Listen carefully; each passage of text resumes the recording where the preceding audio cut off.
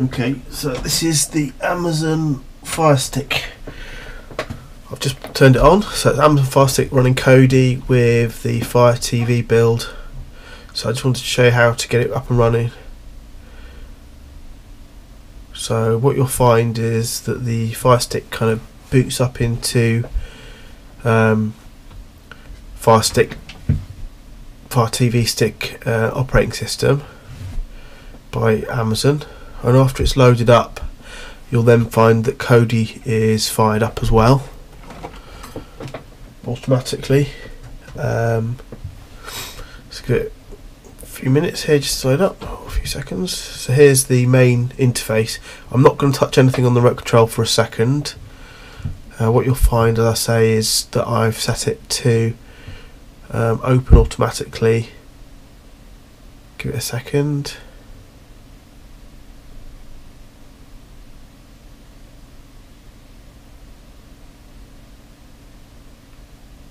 That's great. Here, it loads up. Kodi. So Kodi is the program you use to watch uh, films and other media off the internet for free. So here it is loading up now. It all takes a few minutes on this stick because it's not very high power, but it's pretty good. And it's got this this layer, this skin called Fire TV Guru. So it gives you kind of a load of kind of options automatically. So you've got movies and other things in here. I recommend that when you load it up for the first time, you leave it just uh, a minute or two just to check for any updates that it might have. Um, so you can normally find that by kind of an update message at the top right here, or the bottom left or top left. Um, after a few minutes, after it's checked everything, you're ready to start using it.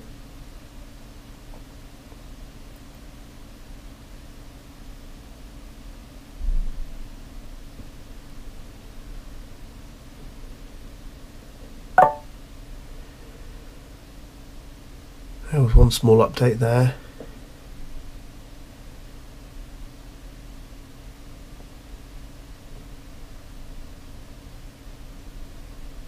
Any more? No. It looks like I've um, had it running quite recently, so there aren't any updates for it. It hasn't detected anything that's out of date particularly.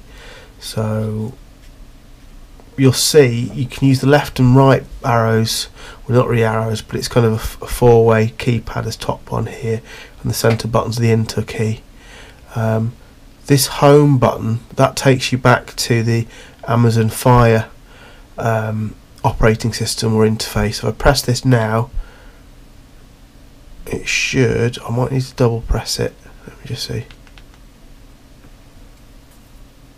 yeah, that gets us back to. Um, I'll press it one more time. That gets us back to kind of the interface here.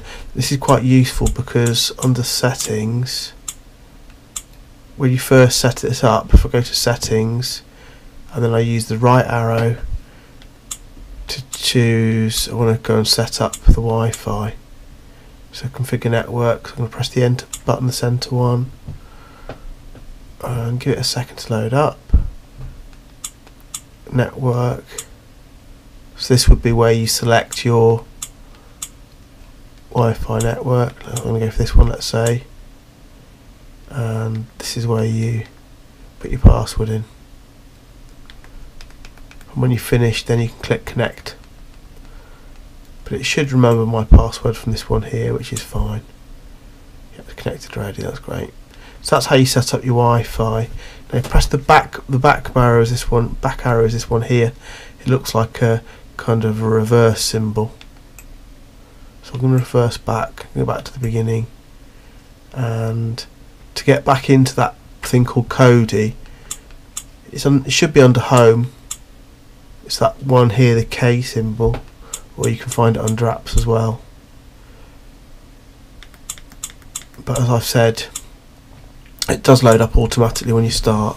So once you've set up your Wi-Fi, you should find that it remembers that from then onwards. You don't need to enter those details again. And here we are, this is where I've left it. So navigating this tool so you can access movies. I'm just going to use the left and right arrows on this remote control movies, TV shows, all in one. So that's a bit of everything in here. Live TV. I haven't used this very much, but I think you can watch TV channels like American TV and Sky and things like that. Kids Corner, so collection of things there. Sports, music, um, and there's other tools as well. Fitness, maintenance systems. I would probably ignore those. So the main one I'm thinking you probably use is movies. So with movies selected, you can select these individual sources at the top here, but I, and and at the bottom here as well, using the kind of the up arrow and left and right. But to be honest with you, I think you can do quite well just by just making sure that movie selected here, then press the center button here, and you should find that an interface loads up, which kind of pulls together all of the most recent or most popular films on the internet at the moment, and you can use the up and down out buttons to just scroll through them. And you'll find that there's probably 20 on the first page and then once you get to the bottom of that list um, it kind of refreshes the next page. So it's quite a nice way and this list updates as new films come out. So let's say I want to watch um, Avatar. If I press the center button here it gives you well you see on the left hand side it gives you a bit of a description a picture on the right here as well. If I press the center button when I'm on top of it give it a second it takes a second to work you'll find this flies away for a second and it's replaced with kind of a summary synopsis of the film more artwork and related stuff here as well. I haven't pressed anything yet but the play button here is already highlighted in blue. So I can just press return and it'll bring up um, kind of streams where it can take get it from the internet now now I just tend to choose the default options most of the time it, it selects one of the sources and just press the enter button here to go with the, the kind of the default selection that should work okay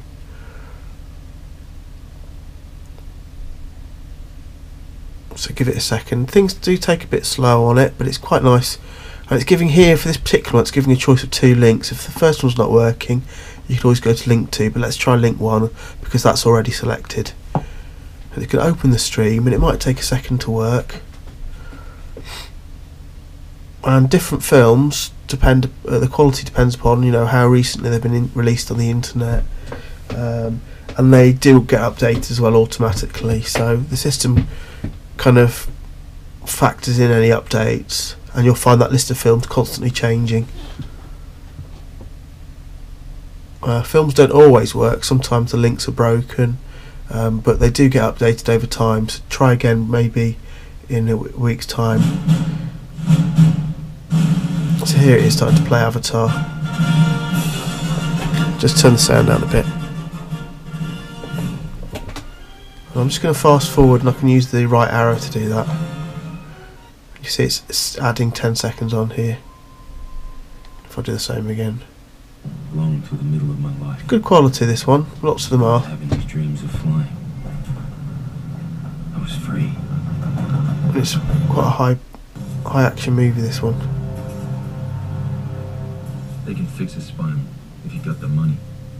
But not on vet benefits. Not in this economy. Now, if I want to stop it, what you have to do is you have to press the centre button and press the stop button. So then you have to kind of navigate to this stop button here using the right arrow and then press the centre one to stop it. I'm not sure if these buttons at the bottom here work. Now to get back to that menu above, if you press the home button that just goes to the Amazon Fire Stick um, interface. So instead you need to use this return key or backwards button here. Um, back again. Oh, here's here I'm back at the film. So let's choose a different one. Let's go to the Revenant, and I'm going to press the center button again.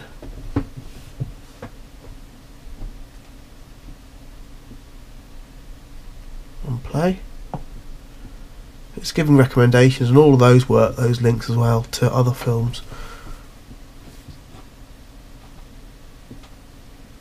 and it's just choosing for me Phoenix I'm going to press enter that one I don't really understand those I think they're different sources on the internet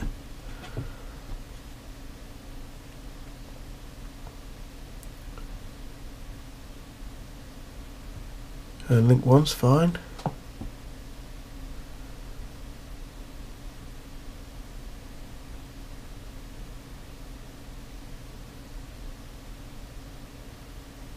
Give it a second, it's just working.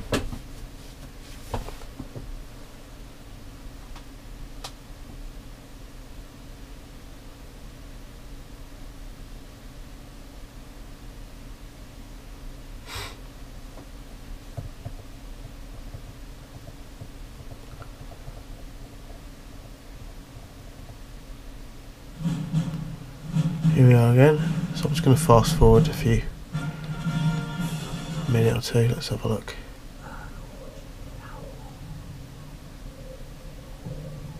It's a very good picture.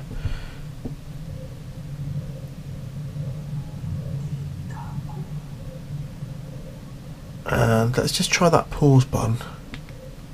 Oh, that does work, the pause button. How about the fast forward button?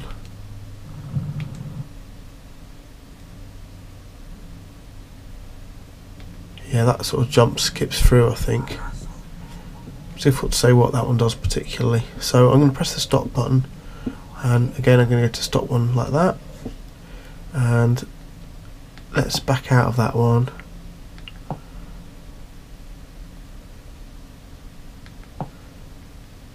If you want to, you can search for movies as well. So if I just press enter on that one, again to the movies. If I press the left arrow at this screen, kind of brings up a menu here.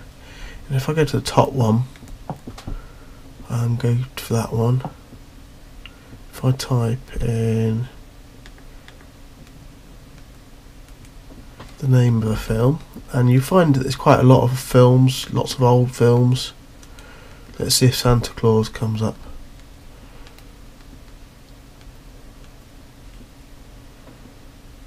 Let's have a look Bad Santa.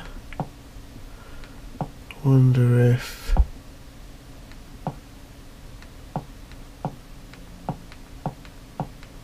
uh, 1994 Santa Claus Santa Claus 2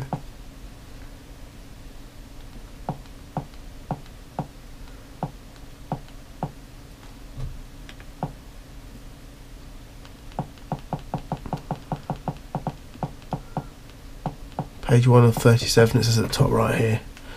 So I'm guessing I will find it here. 1925. It's about 19, about 1980s one, wasn't it?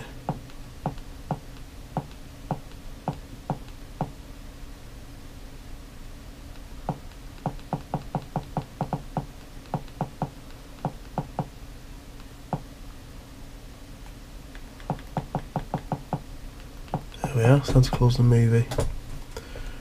Let's see if this one works. Doesn't always work for older ones, but let's hold it.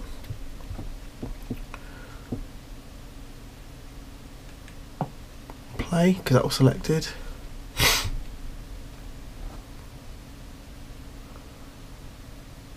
And this time it's saying the second one. Okay, I don't care. It obviously knows better than me.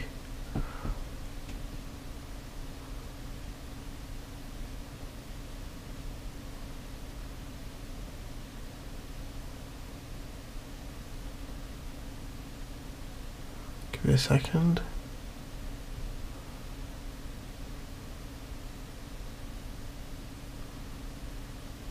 Uh, receive source of zero zero maybe. It might not find any on that one.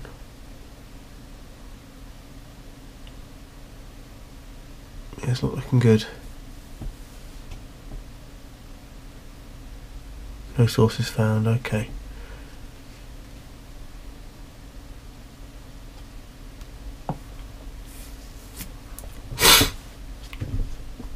But at least that's how you can search for some films. So Inferno, if I do a search for that one, so go into the movies, then use the left arrow, and I'm just going to select search there, and I'm going to use this on-screen keyboard to select the right key. So if I say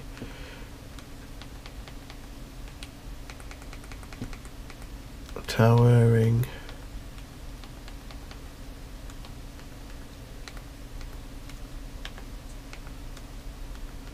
space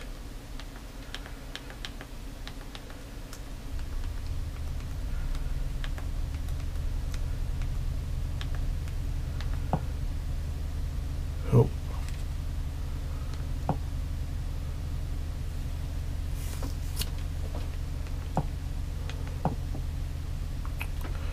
Oh, I lost it.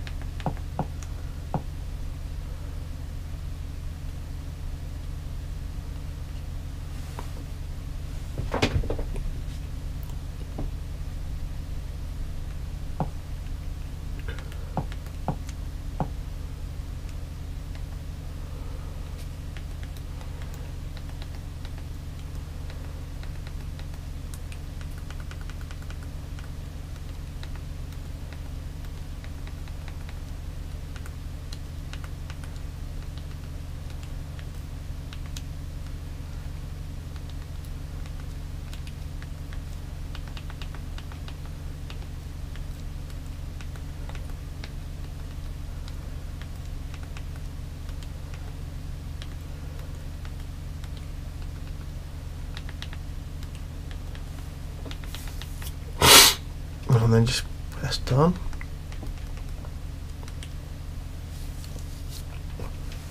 There it is, that'll do.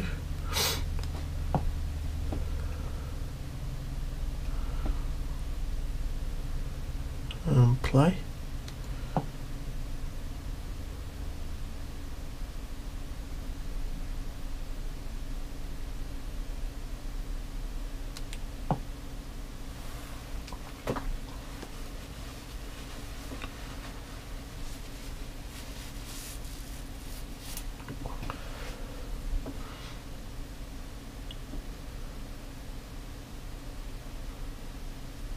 One.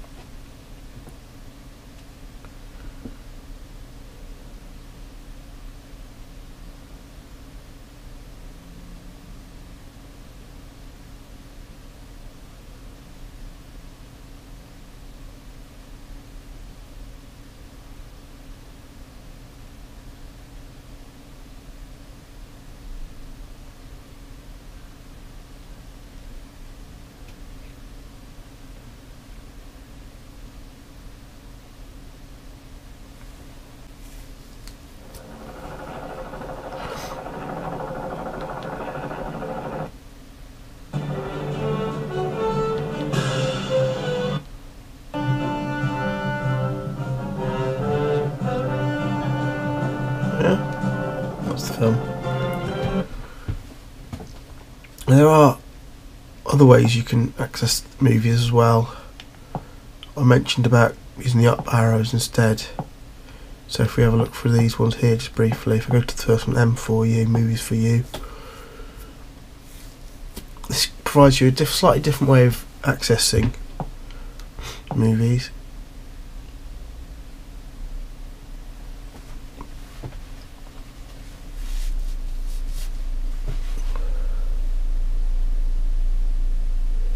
Find that it does update um, every time you turn it on and periodically, and you might find that every now and again it comes up with a prompt to update the software. Now, you, I would probably recommend you choose ignore unless you know what you're doing. So, choose ignore. You'll find it carries on working.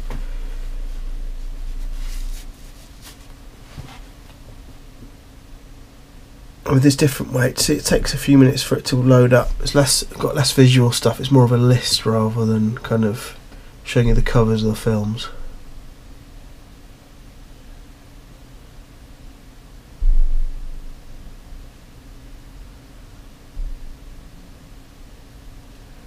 Um, so here's quite a lot of Blade Runner.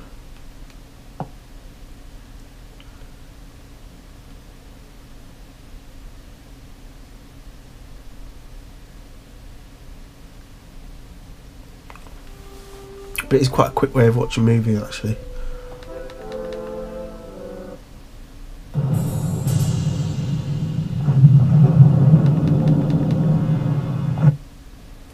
The chance to begin again in a golden land of opportunity and adventure. Um, so that's a different way. Also, you can. Um, also, you can have a look for the other things, TV shows. Some of these ones, if you just leave it on the centre button and press enter, kind of opens up this interface and it's a quick way to kind of navigate through things. There's loads of stuff, Game of Thrones. If it's like Game of Thrones, for example, if I go on that one, it'll then give me the option of what series I want to watch. Because I think there's been seven series of Game of Thrones, maybe seven or eight. So you can sort of use the down button to select which one. Season one. Press. Are. And you can either choose a particular episode or you can just play all, but let me just go for the first one.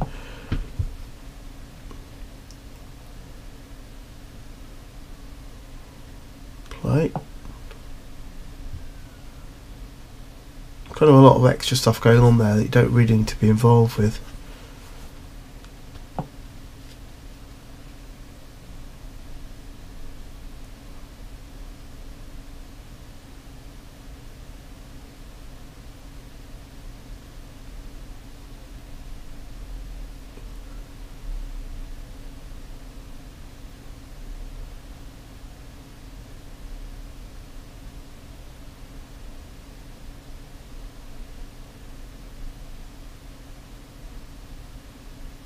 And this one, it's given me several different options here to choose from.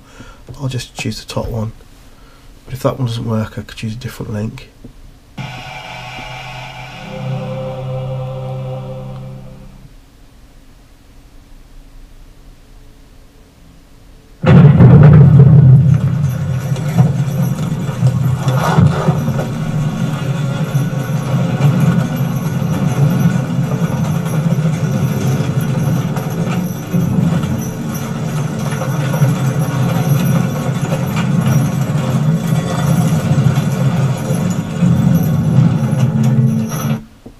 That's it really. There's lots of other stuff in it as well, but um, if you want to stop it, you can use the back button to go back to the menu above until it's is actually there, and then you can kind of go down to the power button there, or you can just leave it turned on all the time, or you can just pull the power out. But this is the way to exit Kodi. Give it a second; it goes back to kind of the main thing on. I might need to press the home button again. There we are. And I can just pull the power out and it's fine. And that's it.